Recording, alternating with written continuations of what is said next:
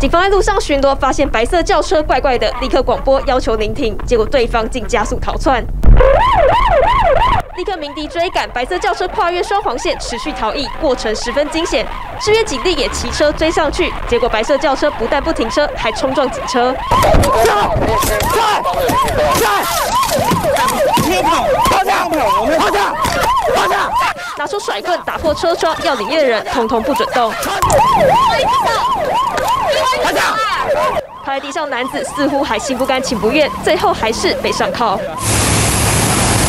事发十号晚上六点多，警方在路上巡逻，发现白色轿车挂脏车牌，要求对方临停后，对方加速逃逸，一路上还逆向行驶、闯红灯、蛇行，双方追逐十五分钟后，白色轿车行经南坎西三号桥，直接冲撞警车，结果自撞桥柱，车上四人都被警方逮捕。